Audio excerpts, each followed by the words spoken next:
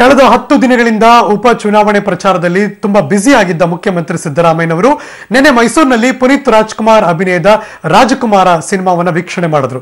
Cinema ಬಗ್ಗೆ ಮೆಚ್ಚುಗೆ ವ್ಯಕ್ತಪಡಿಸಿದ ಮುಖ್ಯಮಂತ್ರಿಗಳು ಚಿತ್ರತಂಡಕ್ಕೆ ಅಭಿನಂದನೆ ಸಲ್ಲಿಸೋದಕ್ಕೆ ತಮ್ಮನ್ನ ಭೇಟಿ ಮಾಡಿ ಅಂತ ಆಹ್ವಾನ ಕೊಟ್ಟಿದ್ರು. ಈ ಹಿನ್ನೆಲೆಯಲ್ಲಿ ಇವತ್ತು ಮುಖ್ಯಮಂತ್ರಿ ನಿವಾಸ ಕಾವೇರಿಗೆ ರಾಜಕುಮಾರ ಸಿನಿಮಾ ತಂಡದ ನಾಯಕ, ನಟ, ಪವರ್ ಸ್ಟಾರ್ ಪುನೀತ್ ರಾಜ್ಕುಮಾರ್, ನಿರ್ದೇಶಕ ಸಂತೋಷ್ ಆನಂದರಾಮ್ ಹಾಗೂ ನಿರ್ಮಾಪಕ ವಿಜಯ್ ಸಿಎಂ ಸಿದ್ದರಾಮಯ್ಯನವರನ್ನ ಭೇಟಿ ಮಾಡಿದ್ರು. ಸಿನಿಮಾ ನೋಡಿ ಮುಖ್ಯಮಂತ್ರಿಗಳು ಖುಷಿಯಾಗಿದ್ದಾರೆ. ರಾಜಕುಮಾರ ಒಳ್ಳೆಯ ಸಂದೇಶ ಹೊಂದಿರುವಂತಹ ಚಲನಚಿತ್ರ, ಅವರು ಸಿನಿಮಾ ಮಾಡಿರೋದು ನಮಗೂ ದೊಡ್ಡ ಖುಷಿ ತಂದಿದೆ. ನಮ್ಮ ಸಿನಿಮಾ ನೋಡಿರೋದು ಕೂಡ ಅವರ ದೊಡ್ಡ ಗುಣ. ಇಡೀ ರಾಜಕುಮಾರ ಚಿತ್ರತಂಡವನ್ನ ಅಭಿನಂದಿಸಿದ್ದಾರೆ.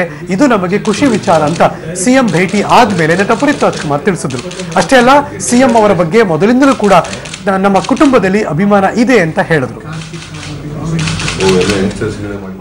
ನಮಗೆ ತುಂಬ ಖುಷಿ ಆಯಿತು. ನಮ್ಮ ಮಾನ್ಯ ಮುಖ್ಯಮಂತ್ರಿಗಳೋಗಿ ಸಿನಿಮಾ ನೋಡಿ ನಮ್ಮ ಇಡೀ ಟೀಮ್ನ ಕರೆದು ಒಂದು ವಿಶ್ ಮಾಡೋದಲ್ಲ ಅದು ನಮ್ಮ ಪುಣ್ಯ ಅನ್ಸುತ್ತೆ. ತುಂಬ ಖುಷಿ ಆಯಿತು ಅವ್ರು ನೋಡಿ ಸಿನಿಮಾನ. ಸಿನಿಮಾಗೆ ಹೋಗೋಕೆ ಮುಂಚೆ ಹೇಳಿದ್ರೆ ಈ ಥರ ಸಿನಿಮಾಗೆ ಹೋಗ್ತಿದ್ದೀನಿ ಅಂತ.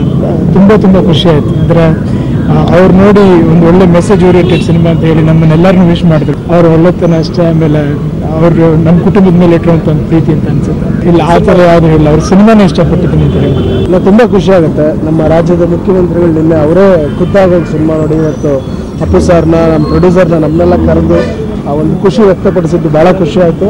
ಅಂದರೆ ಜನಕ್ಕೆ ಎಲ್ಲ, ಅಂದರೆ ಸಿ ಎಂ ಇಂದ ಹಿಡಿದು ಕಾಮನ್ ಮ್ಯಾನ್ವರೆಗೂ ಸಿನಿಮಾ ತಲುಪಿದೆ ಅನ್ನೋದೇ ಅದು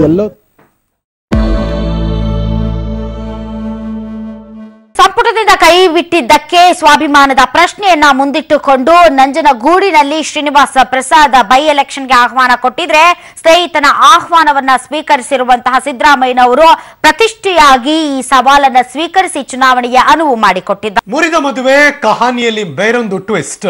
ಊಟ ಶಾರ್ಟೇಜ್ ನೆಪದಲ್ಲಿ ಮದುವೆ ಕ್ಯಾನ್ಸಲ್ ಪ್ರಕರಣಕ್ಕೆ ಈಗ ಹೊಸ ಟ್ವಿಸ್ಟ್ ಸಿಗ್ತಾ ಇದೆ.